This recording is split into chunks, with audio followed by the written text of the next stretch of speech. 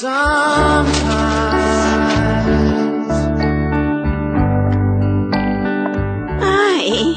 acho que não nasci para ter amigas.